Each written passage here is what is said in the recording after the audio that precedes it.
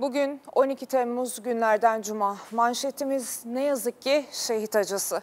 Milli Savunma Bakanlığı Irak'ın kuzeyinde devam eden Pençe Kilit operasyonunda teröristlerin yerleştirdiği EYP'nin patlaması sonucu istihkam assubay kıdemli çavuş Bahadır Rıdvan Talay'ın şehit olduğunu duyurdu. Patlamada bir asker de yaralandı efendim. Tekrar edelim son dakika gelişmesini. Pençe Kilit operasyon bölgesinde bir askerimiz şehit düştü. Bir asker de yaralandı yaralandı.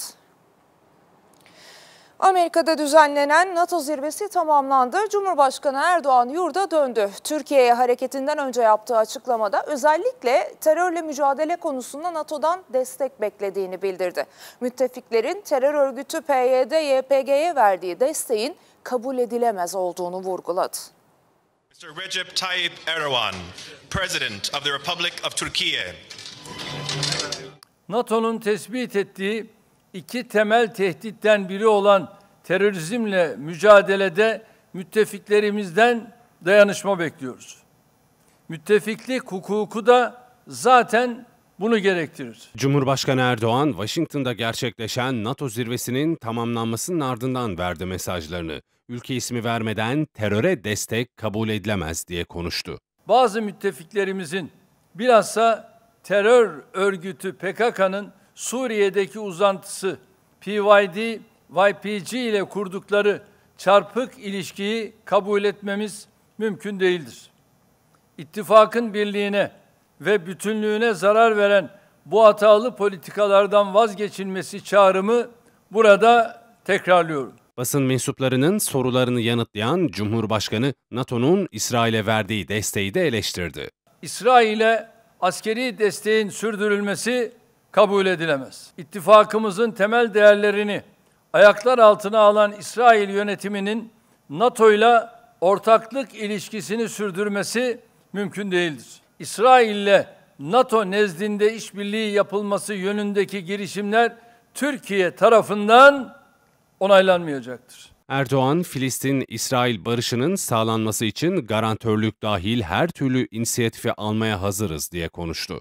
Buradan tüm müttefiklerimizi ateşkesin sağlanması ve 9 aydır açlıkla imtihan edilen Gazze halkına insani yardımların kesintisiz ulaştırılması için Netanyahu yönetimi üzerindeki baskılarını artırmaya çağırıyorum. Cumhurbaşkanı Erdoğan, Suriye Devlet Başkanı Beşar Esad'a çağrı yaptı.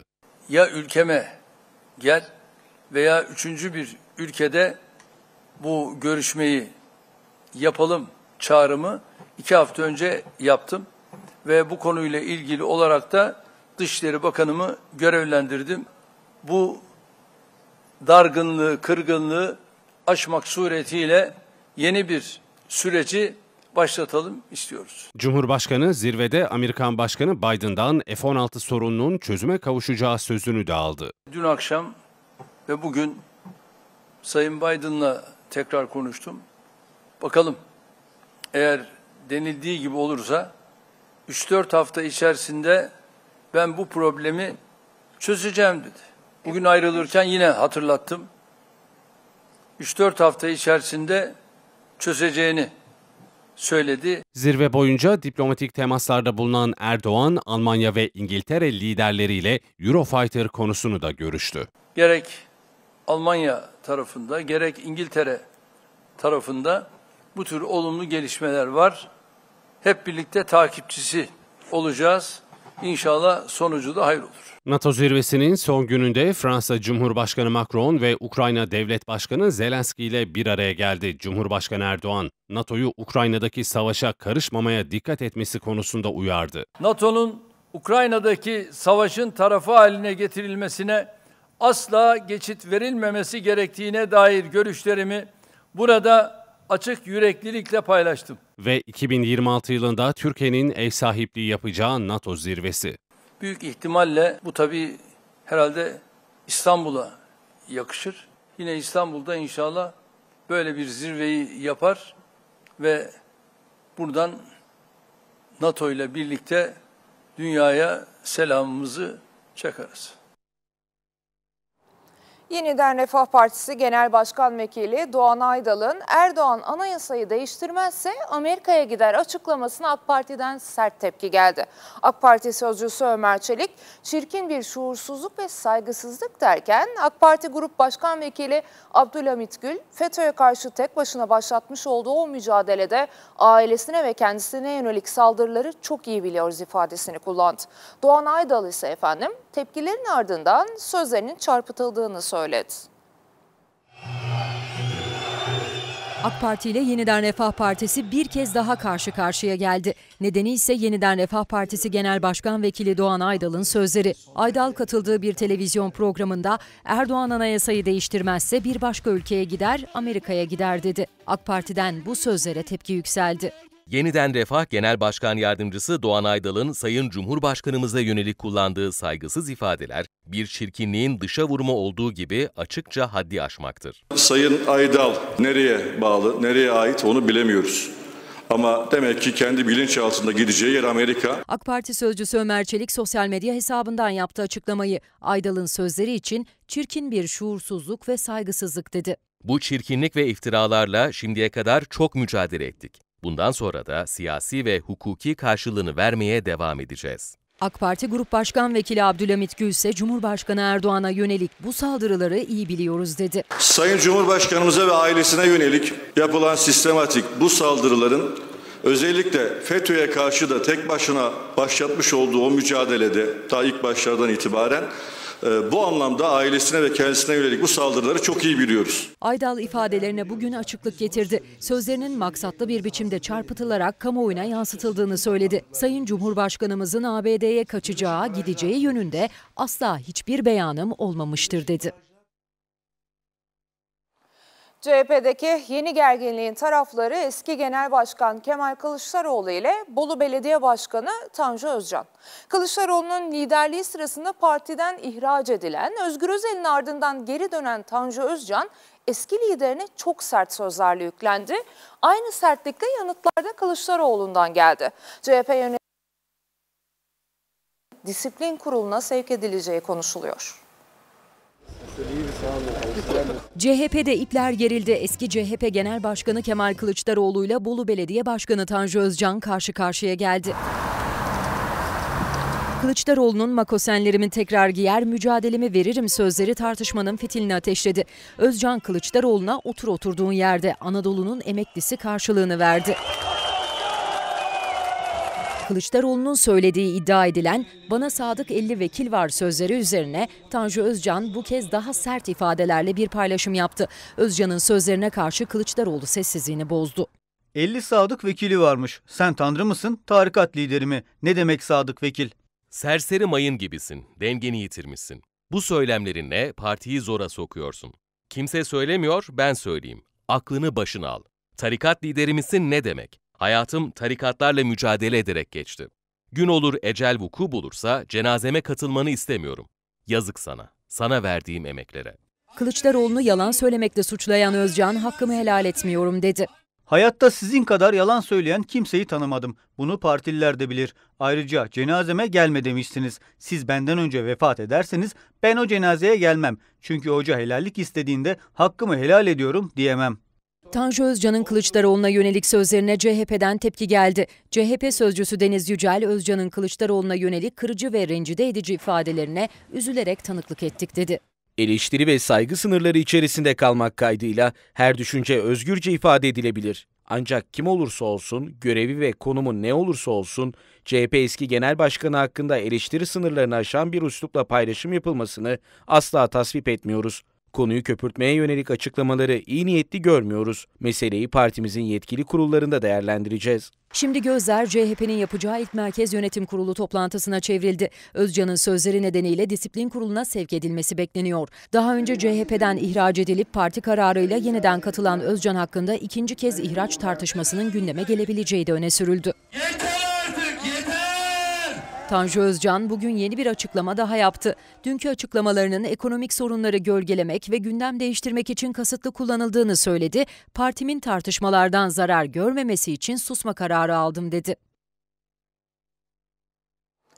Üniversite öğrencisi motokurye Ata Emre Akman cinayetinde karar çıktı efendim. Kuryelik yapan genci bıçaklayarak öldüren 17 yaşındaki sanık 24 yıl hapis cezası aldı. Azmettiricilikle suçlanan babası ise beraat etti. Duruşmaya damga vuran, verdiği cezayı az bulduğunu açıkça söyleyen ama hukukun bunu gerektirdiğini ifade eden hakimin sözleriydi. o gece o anda apartmandan kim çıksa bunu yaşayacaktı. Ata Emre'nin katili 24 yıl ceza aldı. Katili azmettirmekle suçlanan babası ise beraat etti. Hakim kararını açıkladı, sonra da hissettiklerini. Ata Emre'ye benzeyen bir oğlum var ama mevcut hukuk sisteminde karar bu dedi.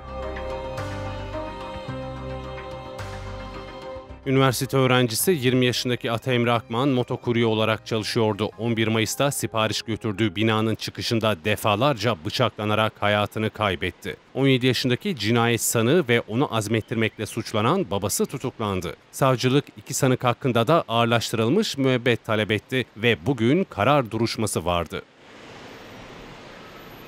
Cinayet sanığı Erdoğan Özdemir'e ağırlaştırılmış müebbet hapis cezası verildi ama yaşı 18'den küçük olduğu için ceza üst sınır olan 24 yıl olarak belirlendi. Cinayeti azmettirmekle suçlanan baba Orhan Özdemir ise suçu sabit olmadığı gerekçesiyle beraat etti. Duruşma salonundakiler karara tepkiliydi. Gürültü yükselince mahkeme başkanı önce kalabalığı susturdu. Sonra da karar kadar çok konuşulacak şu açıklamayı yaptı. Biz yargılayanız ve konuşmamız yasak dedi Mahkeme Başkanı Metin Çelik. Biraz sonra biz milletin vicdanında yargılanmaya başlayacağız. Bu davanın bana verileceğini bilmiyordum. O ana kadar dosyayla ilgili hiçbir şeye bakmadım. Çünkü Ata Emre'nin vücut yapısıyla benim oğlumun vücut yapısı hemen hemen aynıydı. Karardan sonra yani dosyanın bana verilmesinin ardından o fotoğraflara baktım. Biz de insanız ama kanunlar belli. Benim kendi evladım da olsaydı karar bu olacaktı. Mevcut hukuk sisteminde karar bu. Burada hükmü bizler veriyoruz. Kolay kararlar değil bunlar. Hükmü sizin gözünüzün içine bakarak okuyoruz. Mevcut sistem içinde verilecek bir karar bu. Hukuk yaratın dedi avukat bey. Ceza davalarında hukuk yaratılmaz. Yorum dahi yapılmaz. Bu dosyada bu bu dosyada izah edilemezlikler var. Ama ilk defa bir olağanın dışına çıkıldı. Allah bir daha böyle acılar yaşatmasın. Mahkeme Başkanı Metin Çelik gerekçeli kararı Adalet Bakanlığı ve Türkiye Büyük Millet Meclisi Adalet Komisyonu'na da göndereceğini konuşmasına ekledi. Anayasal bir suç işleniyor. Suçu ve suçluyu övmek. Suç, cinayet, suçluya verilen bu ceza, azmettiriciye verilen bu ceza da suçluyu övmektir. Azmettirme için nasıl bir yazılı belge mi istiyorlar? Ne isteniyor azmettirme için? İtiraf mı etmesi gerekiyor? Evet ben azmettirdim diye. Bunu yapacak mı sanık? Hayır. İstanbul Esenyurt'ta 23 gün önce kaybolan 23 yaşındaki kadının cinayete kurban gittiği ortaya çıktı. Katili ise hiç tanımadığı birisi. Kendisini kadın gibi gösterip açtığı sosyal medya hesabından kurbanını tuzağa düşürdü, evini temizliğe çağırdı. Sonradan hunharca katletti. Gözaltına alınan caninin 2007 yılında başka bir cinayetten cezaevinde yattığı öğrenildi. Cinayeti neden işlediniz? İş arayan genç kadını tuzağa düşürdü. Sosyal medyada açtığı sahte kadın hesabıyla evine temizliğe çağırdı. Boğarak öldürdükten sonra altı parçaya böldü. Cinayetin hemen ardından elini kolunu sallayarak sokakta gezdi. Her yerde aranan bir çocuk annesi kadının cansız bedeni inşaat çukurundan çıktı.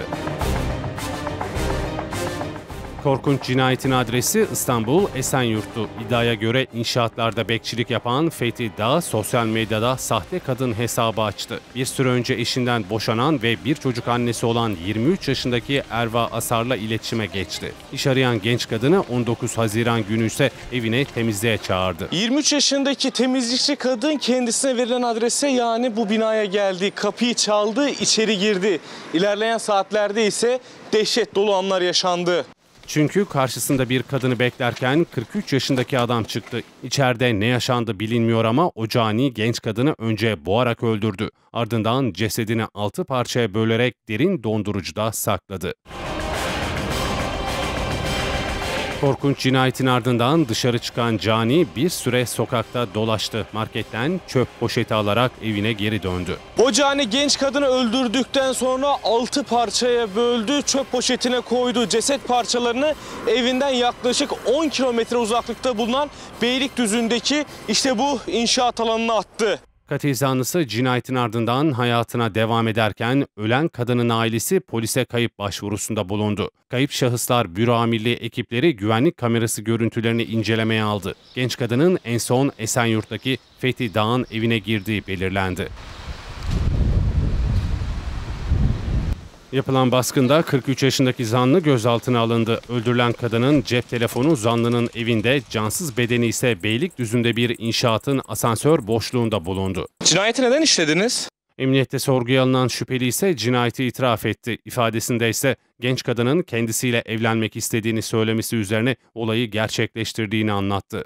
2007 yılında da Azerbaycan uyruklu bir kişiyi öldürdükten sonra girdiği cezaevinden pandemi sürecinde tahliye olan cinayet zanlısı adliyeye sevk edildi. Önde ölümden kaçan korku içindeki kadın. Arkasında ise tabancayla onu kovalayan ayrılık aşamasındaki kocası. Boşanma davası bugün görüldü. Mahkeme çiftin çocuklarının velayetini babaya verdi. İkili mahkeme salonundan dışarı çıkınca da şimdi izleyeceğiniz görüntüler kayda geçti. Ölümden böyle kaçtı. Bir zamanlar kocası olan adam artık Azrail olmak için peşinden koştu. Bursa Osman Gazi'de 45 yaşındaki adam aldatıldığı iddiasıyla boşanma davası açtı. Duruşma bugün görüldü. Mahkeme iki çocuğun velayetini babaya verdi.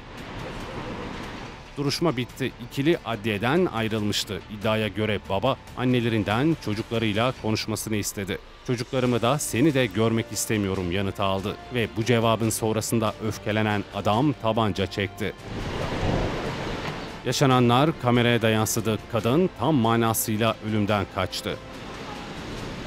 İki çocuk annesi kadın önüne ilk çıkan iş yerine sığındı. O sırada içeri girmeye çalışan adam ateş etti. Çevredekilerden biri koşup geldi, araya girdi. Tabancalı adam geri döndü ve uzaklaştı. Polis ve sağlık ekibi kısa sürede olay yerindeydi. Bacağından yaralanan kadın hastaneye kaldırıldı.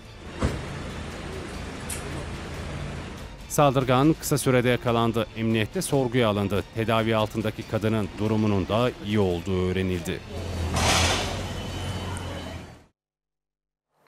Önce vergi levhası sordular, sonra 10 bin lira istediler. İstanbul Ümraniye'de yabancı uyruklu kişilerin işlettiği dükkanlardan haraç toplayan zanlılar yakalandı.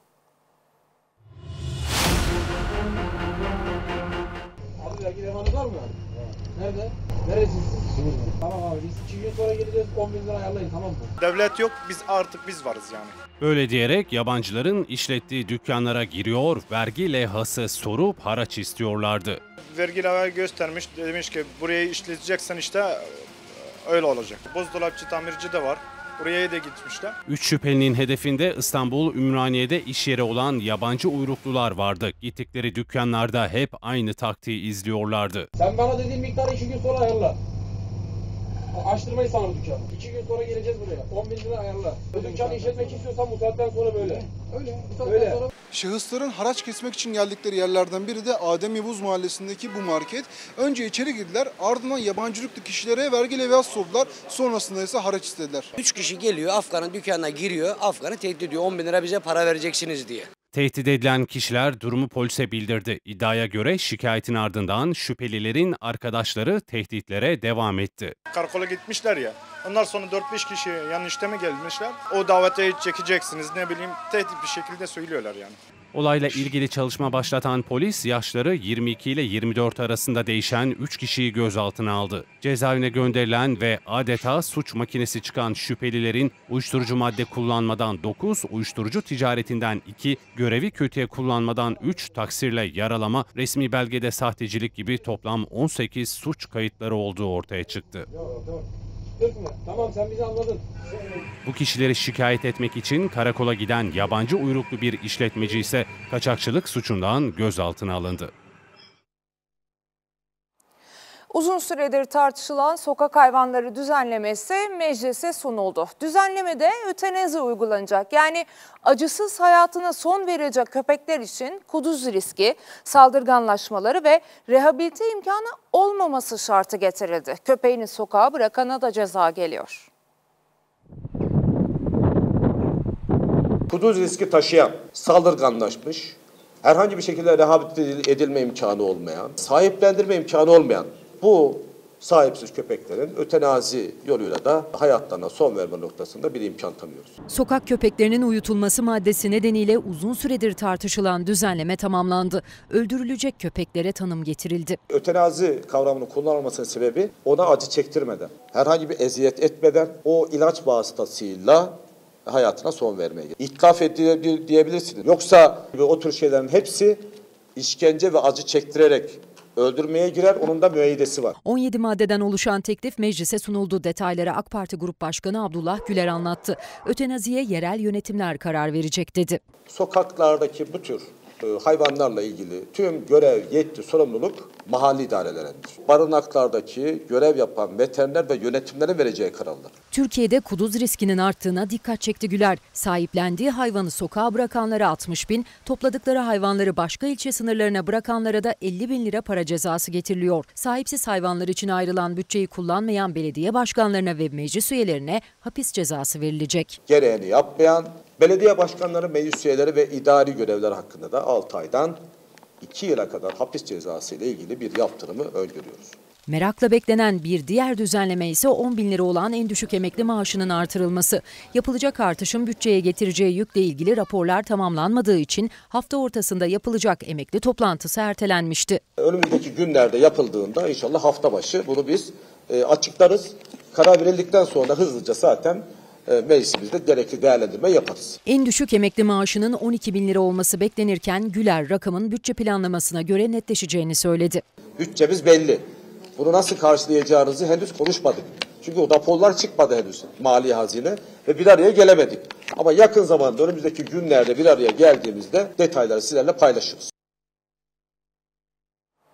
Hafta başında Rusya'nın füzelerle vurduğu Ukrayna'nın en büyük çocuk hastanesinde iki kişi ölmüş, onlarca kişi yaralanmıştı.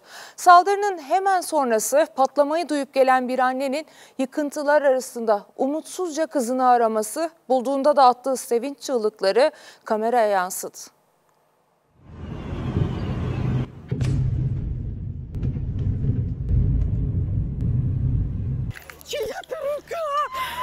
Чия-то рука! Я не знаю, що Соломійка моя там жива!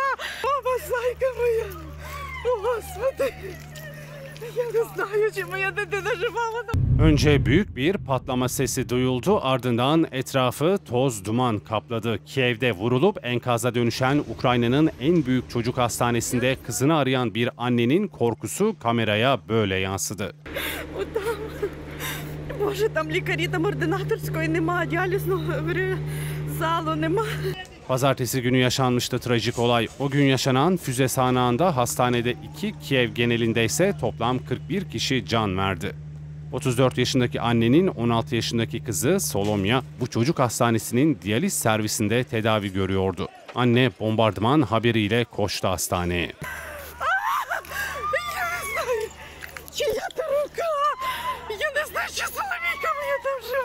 жива. O sırada hastaneden yaralı çocuklar ve doktorlar dışarı taşınıyor, anne her yerde kızını arıyordu. Господи, там криша, а зверху. Боже, там не віруси. Тут нікого нема. Neyse ki kızına sağ salim kavuştu 34 yaşındaki anne. А потім я побігла в сховище е, адмінкорпусу, і там знайшла Соломійку. Вже над нею були е, два лікарі, надавали допомогу, бо в неї так було закривавлене очко. Batı dünyası olay sonrası savaş suçu diyerek Rusya'yı hedef aldı. Kremlin ise hastanenin Ukrayna füze.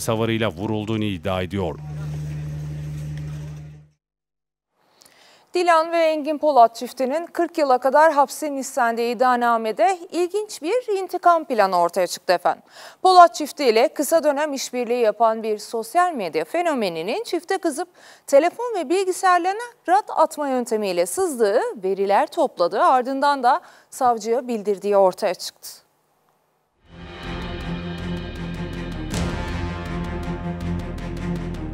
Fenomen çifte kızdı, cihazlarına rat atarak sızdı. Dilan ve Engin Polat çiftini yakan kıvılcımın intikam duygusuyla başladığı ortaya çıktı.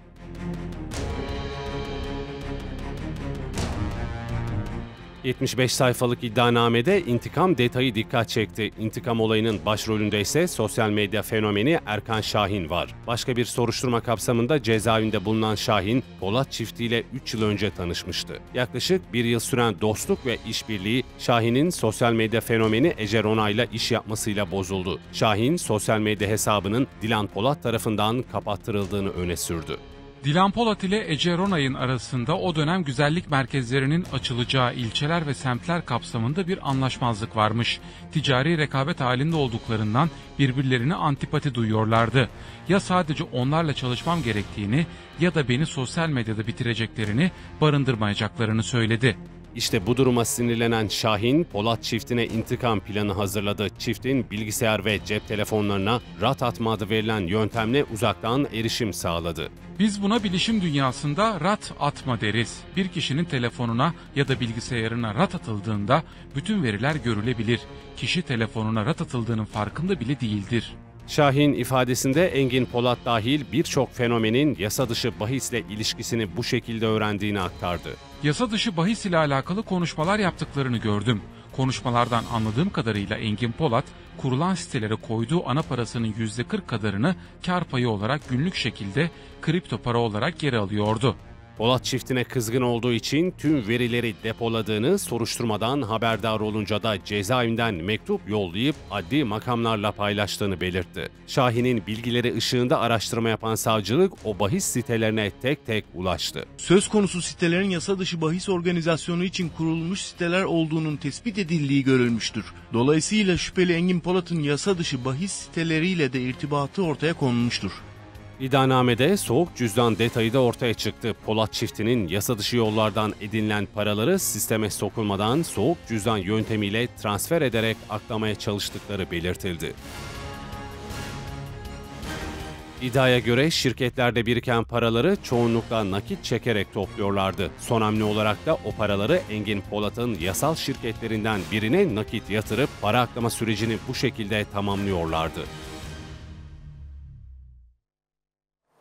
Fenomenlere yönelik soruşturmada gözaltına alınan Neslihan ve İnanç Güngen çiftinin de aralarında bulunduğu 45 şüpheli adliyeye sevk edildi. Fenomen çiftin çalışanlarından sahte fatura kestikleri, sağlıksız ürün sattıklarına yönelik itiraflar geldi.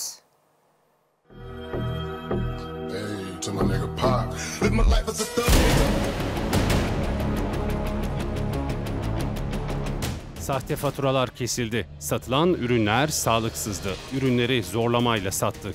Fenomen soruşturmasının kilit ismi Neslihan Güngen'i çalışanları bu sözlerle suçladı. Biliyorsunuz cuma cumartesi demek, Nesin Güngen kaç gün demek? İstanbul merkezli 25 ilde kara para aklama soruşturması kapsamında düzenlenen Kuyu 8 operasyonlarında 65 kişi gözaltına alınmıştı. 20 şüpheli sorgusunun ardından serbest bırakıldı. Neslihan Güngen ve İnanç Güngen'in de aralarında bulunduğu 45 şüpheli suç işlemek amacıyla örgüt kurma, kara para aklama, resmi belgede sahtecilik ve nitelikli dolandırıcılık suçlarından Küçükçekmece Adliyesi'ne sevk edildi. Şüphelilerin emniyette verdiği ifadelerde ortaya çıktı. Neslihan Güngen yaptıkları iş ve işlemlerin açık ve şeffaf olduğunu, devletin her kurumunun şirketlerini denetleyebileceğini söyledi. Dinlemeye takılan vergi müfettişiyle sadece vergi dairesinde görüştüğünü belirtti ancak hangi vergi dairesinde görüştüğünü açıklamadı.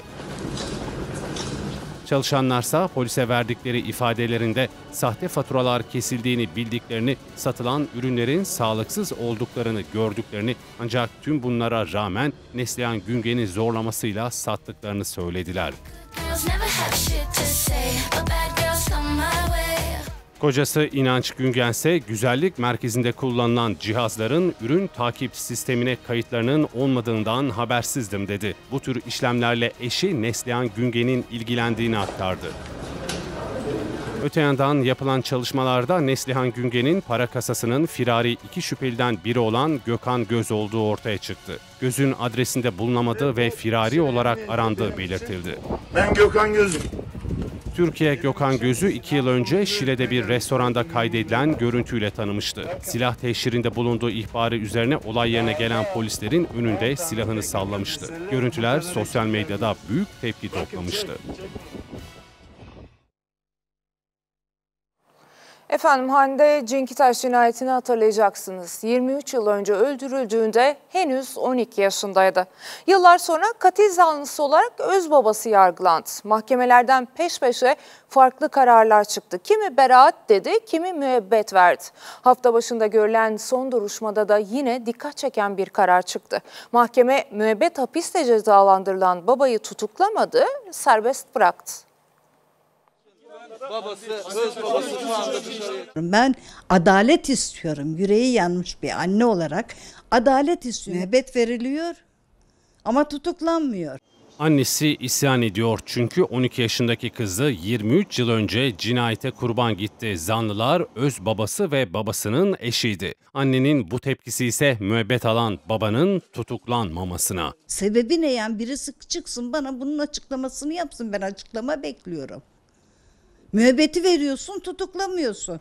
4 Ocak 2001 yılında 12 yaşındaki Hande Çinkitaş İstanbul Kadıköy'de başına çekiçle vurulup boğazı kesilerek öldürülmüştü.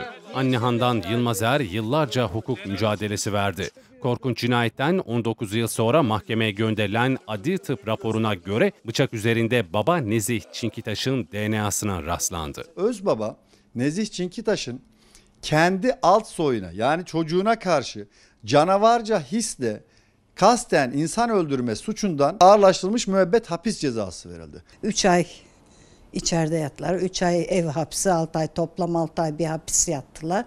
İlerleyen süreçte mahkeme sanıklar hakkında beraat kararı verdi. Anne Handan Yılmazer'in karara itirazıyla dosya istinaf mahkemesi tarafından tekrar ele alındı. Anadolu 2. Ağır Ceza Mahkemesi şüpheden uzak kesin delil ve şüpheden yana, e, sanık yaralanır ilkesi gereği beraat ettirmişti. Üst mahkeme ise beraat kararını bozarak kızını öldüren babaya müebbet hapis cezası verdi. Ancak baba tutuklanmadı. Bu karar duruşmadaki iyi hal, tutum ve davranışları lehine değerlendirilerek müebbet hapis cezasına çevir. Bir insana ömür boyu hapis cezası verirseniz onun karşılığında bu adamın cezaevine mahkemeden hemen çıkıp cezaevine gitmesi gerektiği kanaatindeyiz. Anne Handan Yılmazer, katil zanlısı babanın müebbet hapis kararına rağmen adli kontrol şartıyla serbest bırakılmasına isyan etti. Ben kızımın kanı yerde kalmasın.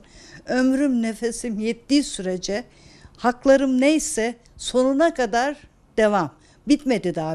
Yılmazer'in avukatı Hasan Kocabey de karara tepki gösterdi. Öz kızını canavarca hisle öldürdüğüne kanaat getirdiğiniz birini tutuksuz tedbiren bırakamazsınız. Kesinlikle öldürmedim tabii.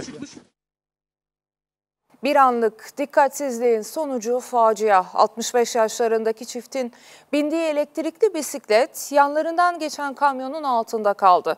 Arkada oturan kadın hayatını kaybetti. Elektrikli bisikleti kullanan kocası ağır yaralandı.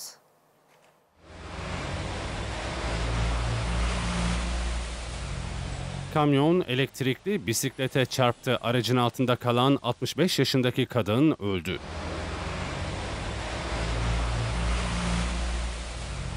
Korkunç kaza Hatay'da kaydedildi. Hüsamettin Leyla Harpunoğlu çifti elektrikli bisikletteydi. Tam yanlarından bir hafriyat kamyonu geçti. Şoför onları fark etmedi. Hafif sağ manevra yapınca karı kocaya çarptı. Kamyon ortalama 10 metre, 15 metre sürükledi. Kamyon ilerlemeye devam etti ve talihsiz karı kocayı ezdi. Sağlık ekibi olay yerine ulaştı. Leyla Harpunoğlu feci şekilde hayatını kaybetmişti. Kocası ise ağır yaralı olarak hastaneye kaldırıldı. Kaza kamyonu... Polis hafriyat kamyonu şoförünü gözaltına aldı. Tedavi altındaki Husamettin Harpunoğlu'nun hayati tehlikesinin sürdüğü belirtildi.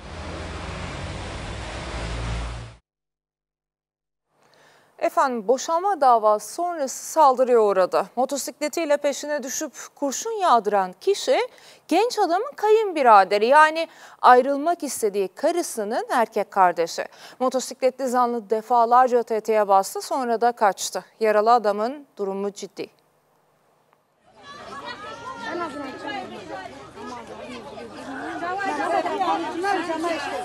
Mahkemeden çıkmış evine dönüyordu. Kayınbiraderinin saldırısında yaralandı.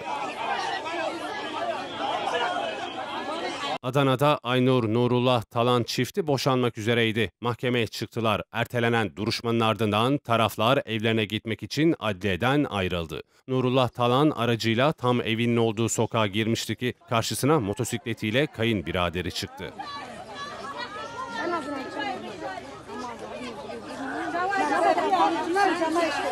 Talan olacakları anladı, kaçmaya çalıştı ama peşine düşen motosikletli onu yakalayıp defalarca ateş etti. Sonra da olay yerinden kaçtı. Genç adam omzu ve bacağından yaralıydı. Çevredekiler yardımına koştu. Kısa süre sonra polis ve sağlık ekibi olay yerine ulaştı. Nurullah Talan'a olay yerinde ilk müdahalesi yapıldı, sonra da hastaneye kaldırıldı. Hayati tehlikesinin olduğu açıklandı. Polis kaçan saldırganın peşine düştü.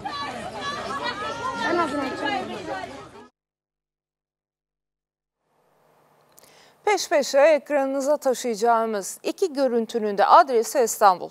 İkisi de trafik tartışmasıyla başladı.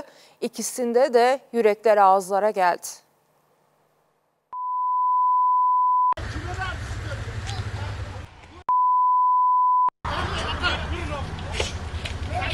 Araçlardan indiler, sahil yolunu dövüş ringine çevirdiler. Taksi sürücüsüyle otomobil sürücüsü arasındaki yol verme tartışması tekmeli, yumruklu, sopalı kavgaya dönüştü.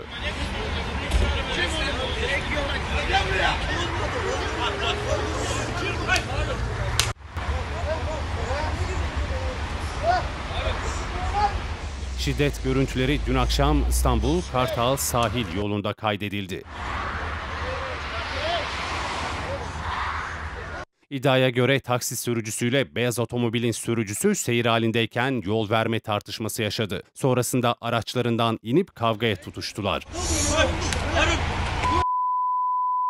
Sopa ve yumrukların havada uçuştuğu kavga çevredeki vatandaşların araya girmesiyle son buldu.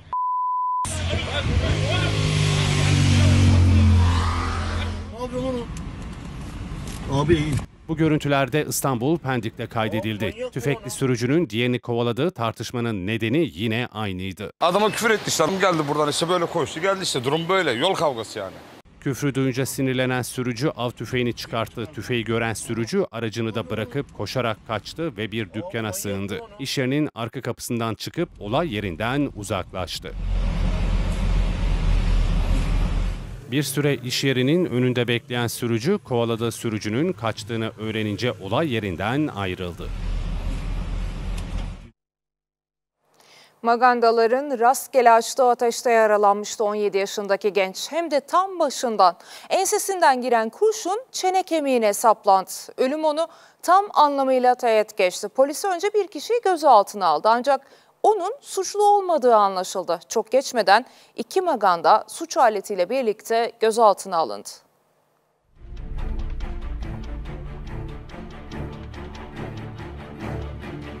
Silah sesleri duyduk. Yanımızdan geçen bir maganda ateş ederek mermisi bana isabet etti. Onların yakalanmasını istiyorum.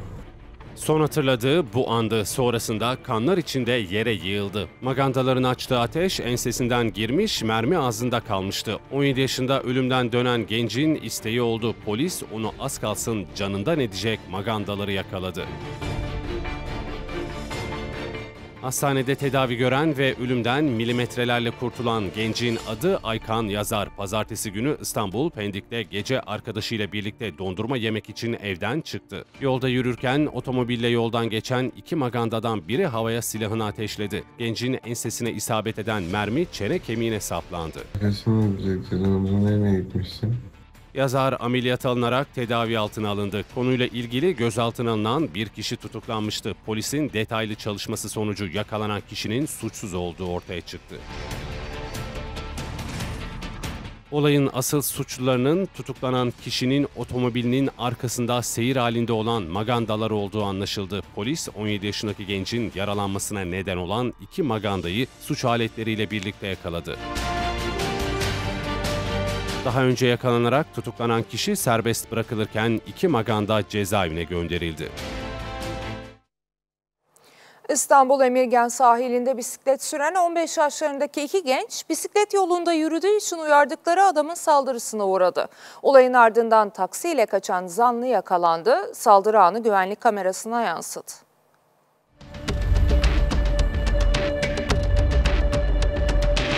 Bisiklet yolunda yürümeyin diye uyarmışlardı sadece. Bisikletli gençlere saldıran adam yakalandı. O çocuğa o şekilde yapmaya kesinlikle hakkı yok. Olay 8 Temmuz günü İstanbul Sarıyer'deki Emirgan sahilinde yaşanmıştı. 15 yaşındaki gençli arkadaşı bisiklet yolunda seyir halindeydi. Bu sırada bisiklet yolunda yürüyüş yapan ailenin yanından geçtiler. İddiaya göre bisiklet yolundan yürümemeleri konusunda uyarıda bulundular. Beyefendi ailesiyle e, önden yürüyordu. Ki normalde zaten bisiklet yolu bisiklete ait diyebiliyoruz. Aralarında çıkan tartışma gitgide büyüdü. Öfkeli adam iki çocuğa da saldırdı. Beyefendi çocuğun tekmeyi atınca çocuk zaten haliyle düştü motosikletin üzerine. Daha sonrasında e, yumrukla vurmaya başladı. Çevredekiler araya girip sakinleştirmeye çalıştı. Beyefendiye geldim dedim hani son- sonuçta senin de çoluğun çocuğun var çocukların gözünün önünde yapma bu şekilde diye. Bağırdık çağırdık beyefendi o esnada eşine söyledi sanırım taksi çağırdı. Saldırgan daha sonra ailesiyle birlikte taksiye binip olay yerinden kaçtı. Çocuk gerçekten annesine babasına teşekkür ederim saygılı bir çocukmuş ki çocuk saygısızlık yapmak istemedi. Çocukların şikayeti sonrası harekete geçen polis saldırganın kimliğini kısa sürede tespit edip yakaladı. Emniyete götürülen şüpheli ifadesinin ardından kasten yaralama, tehdit ve hakaret suçlarından adliyeye sevk edildi. Önümüzdeki Kasım'da yani yaklaşık 3,5 ay sonra Amerika'da seçim var. Çok kısa bir süre kala Biden'ın Trump'ın karşısında Amerikan başkanlığına aday olup olmayacağı ise hala muamma. Her ne kadar Amerikan başkanı bir dönem daha aday olacağını her fırsatta açıklasa da aksi yönde baskı artıyor. Çünkü 81 yaşındaki Biden bir gününü bile gafsız geçirmiyor. Dün tamamlanan NATO zirvesinin sonuna da gafları damga vurdu. Zelenski'ye Putin dedi, yardımcısı Kamala Harris ise rakibi Trump diye seslendi. President Putin. President Putin. Zelenski'ye Putin, yardımcısı Kamala Harris'e Trump dedi. Amerikan Başkanı Joe Biden gaflarına yenilerini ekledi. İlk gafını Ukrayna Devlet Başkanı'nı kürsüye davet ederken yaptı. Ladies and gentlemen, President Putin. President Putin. He's going to beat President Putin. President Zelensky. I'm so focused on beating Putin, we got to worry about it. Anyway, Mr. President, I'm better. you are a hell of a lot better. Biden bu gafın ardından yardımcısı Kamala Harris yerine Donald Trump'ın ismini kullandı. Biden'a Harris'in aday olması durumunda Trump'ı yenip yenemeyeceği sorulmuştu. I wouldn't have picked Vice President Trump to be Vice President that I think she was not qualified to be President. Gazeteler gafları yapma Joe diyerek manşetlerine taşıdı. Yaklaşık bir saat süren basın toplantısında 81 yaşındaki Biden'a sorulan soruların büyük kısmı başkan adaylığıyla ilgiliydi. Yarıştan çekinmeyeceğim dedi.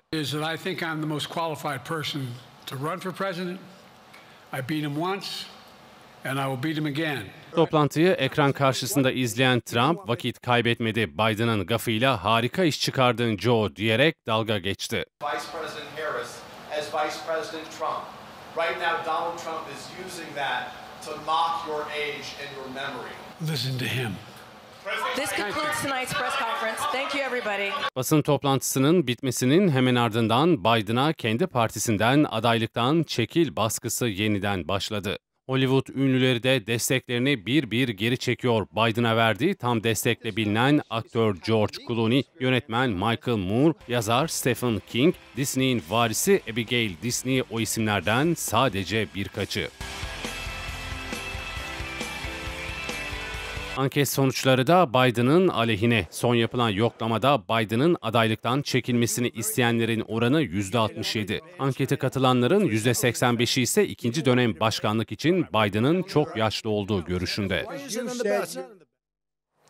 İstanbul'da toplu taşımadaki öğrenci indirim uygulamasında dikkat çeken bir değişiklik yapıldı. 30, 30 yaş üstündeki öğrencilerin kullandığı öğrenci kartlarındaki indirim tutarı %10'a düşürüldü.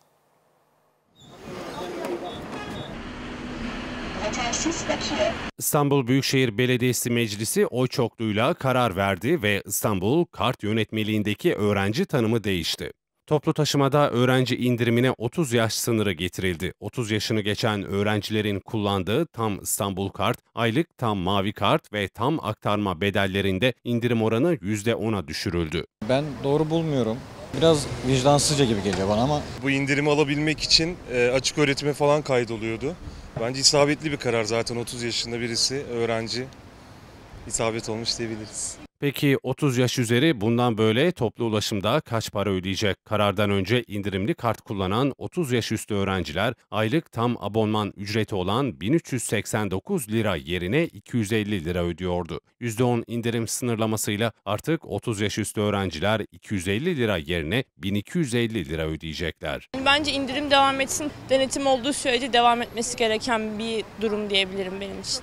Bakıyorsunuz yani 60 yaşında bile bir öğrenci var. Yani mantığa uymuyor. Hani o yüzden evet öğrenci dediğiniz zaten belli bir yaşa kadar oluyor. Bu sefer kendi öğrencinin hakkı da ihmal etmiş oluyor. Doğru bulduğum bir karar oldu. Kaç yaşındasınız? 38 yaşındayım. Hala öğrencisiniz. Evet doktoraya hazırlanıyorum. %10'a indirildi. İndirim ne diyorsunuz? Hani hiç kimseyi suçlamıyorum çünkü ekonominin durumu malum. Ne kadar artar mesela?